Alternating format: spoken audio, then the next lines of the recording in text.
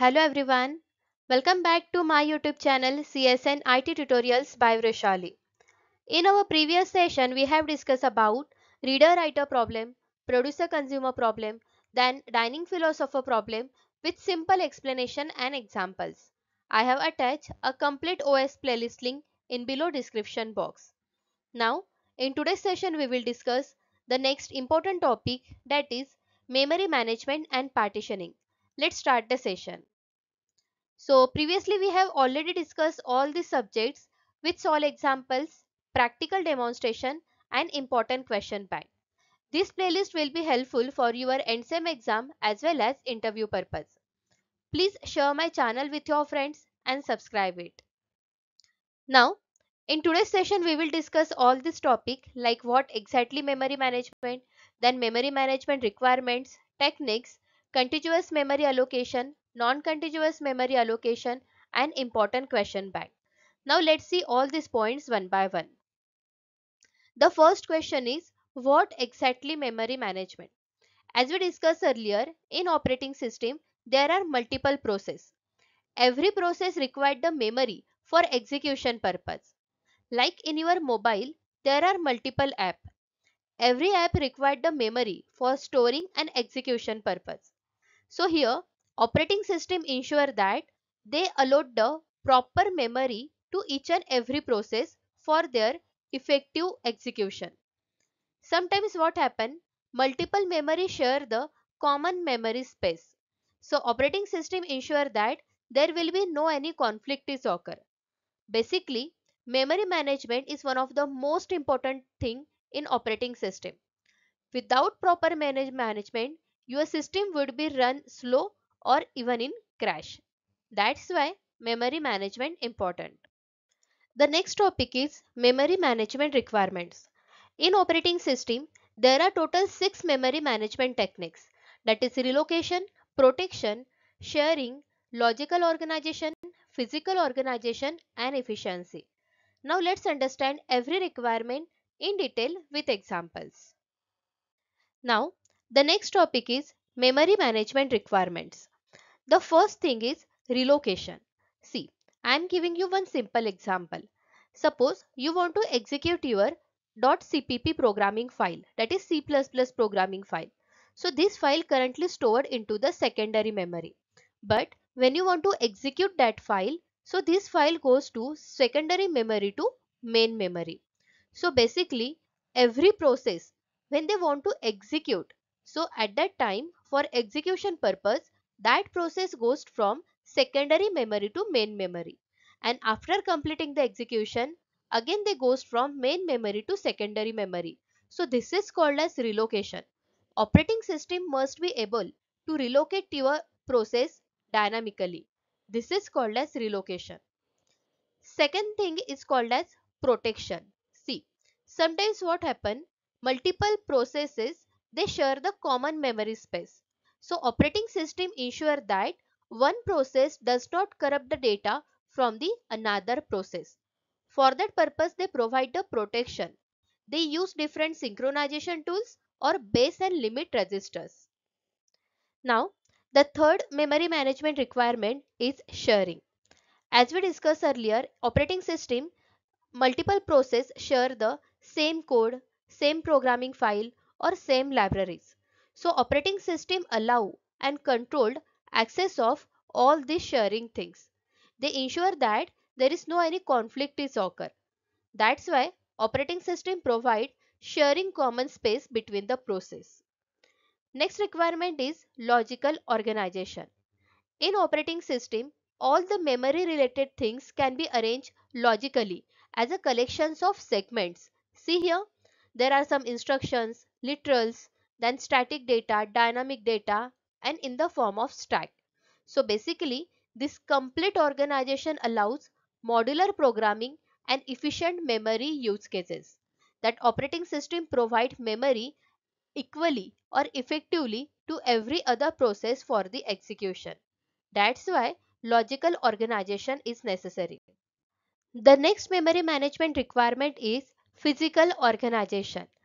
As we discussed in operating system, there are total two types of memory, logical memory and physical memory. Logical memory is used by the programs or physical memory means your actual RAM that is random access memory. So operating system ensure that every memory devices is used by effectively or appropriately. And also if your physical memory is insufficient, so operating system use virtual memory for execution purpose. And the last memory management requirement is efficiency. Operating system allot proper memory to each and every process for execution. So they make sure that there will be a efficient or maximized CPU and memory utilization. Also, operating system ensure that they minimize the fragmentation. In last lecture, we have discussed about the internal and external fragmentation. So fragmentation basically means wastage of memory. Operating system make ensure that there will be a less wastage of memory but efficient use of memory for execution purpose. So these are the some memory management requirements that followed by the operating system.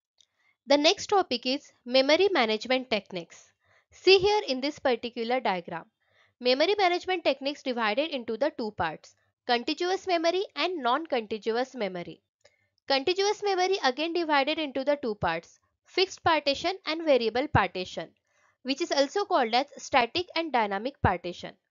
Then non-contiguous memory again divided into the some parts like paging, multi-level paging, inverted paging and segmentation. Now in today's session we will discuss contiguous memory with their types and also what exactly non-contiguous memory. In our next lecture we will discuss in detail paging and segmentation. First we will understand what exactly contiguous memory allocation. See here in this particular diagram. Here main memory in operating system is divided into the equal partitions. See here 5 MB each. So in contiguous memory allocation every process use the memory in continuous block purpose right. This contiguous memory allocation divided into the two parts fixed size partition and dynamic size of partition. So first we will understand what exactly fixed size partition. See here. So here main memory in operating system divided into the equal parts 5 MB each. Now let's assume that process 1 is come and process 1 required the 3 MB memory for execution. So process 1 goes to the first field of the memory and executing here. But from 5 MB, they required only 3 MB. So 2 MB is a wastage of memory, right? After process 1, process 2 is coming. So process 2 executed in the next continuous block. Process 2 required only 1 MB of memory for execution. But this is a fixed size partition, right? So from 5 MB, only 1 MB is required. So remaining space is 4 MB, right? So exactly what happened here? See here. Like in your mobile, there are multiple built-in applications. For example, in your mobile, there is a call logs, then setting application, notification application is there, right? So these all are having the pre-allocated memory space or we can say fixed size partition. So every process executed effectively in that particular memory. So here fixed size partition is very easy to implement. This is one of the main advantages of it. Also operating system keep track of each and every blocks that how many memory is left after the execution. But what are the disadvantages here? See, let's assume that suppose process 4 is come and process 4 required the 10 MB of memory for execution. So can process 4 executed here? No, because there is a fixed size partition 5 MB each. But process 4 required the 10 MB of data. You can't execute process 4 here. So this is the disadvantages. And these disadvantages will overcome in dynamic size of partition. Again, there are multiple uh, wastage of memory space here, right? Due to fixed size partition. So this all concept is called as fixed size partition in memory. Now, what exactly dynamic size of partition? See here in this particular diagram. In dynamic size partition, there is no any fixed block or fixed partition as compared to fixed size partition. Here, operating system allocate the memory as per the requirement of process. For example, now process 1 is come, right? Process 1 required the 5 MB of memory for execution. So operating system allot 5 MB of memory only to that particular process for execution, right? After that process 2 is come. Process 2 is required the 2 MB of memory. So operating system allot the 2 MB of memory for that particular process. Means there is a less wastage of memory. All the memory space is divided as per the requirement of process. This is called as dynamic size of partition. Again I am giving you a simple example. In your mobile, there is a WhatsApp application, YouTube application and also different online games are there. So every application required the dynamic size of partition because you can change or update the data, right? Suppose you are updating the WhatsApp application. So they add the new features in it. Means their size is increased sometimes, right? So this is not a fixed size. They require the dynamic size of partition and operating system allot accordingly. Clear? So what are the advantages of it? Memory space is divided as per the requirement of the process, right? And no memory wastages are there as compared to fixed size partition. Now what are the disadvantages? The main disadvantages is it is very difficult to implement and also difficult to keep the track of process and also remaining space is there. So this is called as dynamic size of partition. The next topic is what exactly non-contiguous memory allocation. See, as we discussed earlier, in contiguous memory allocation, memory is allocated to the process in continuous block. One by one blocks are there, right?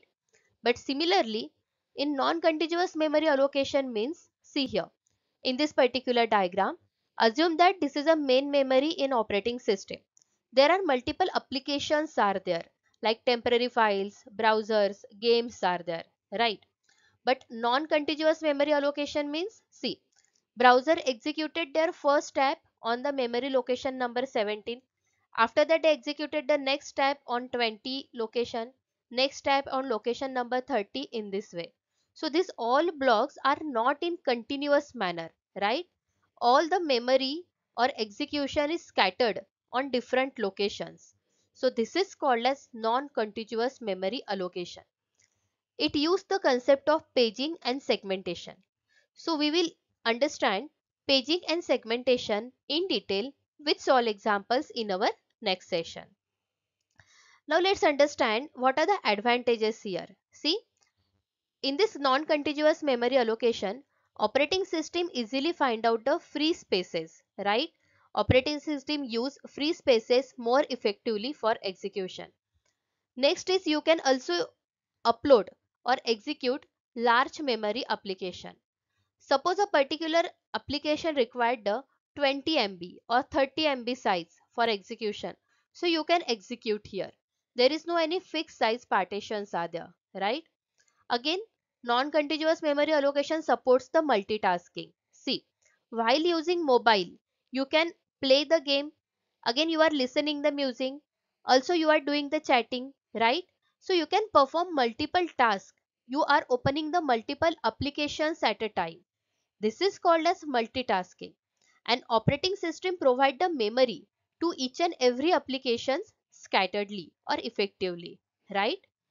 And now what are the disadvantages? So to maintain all these things it is very complex okay?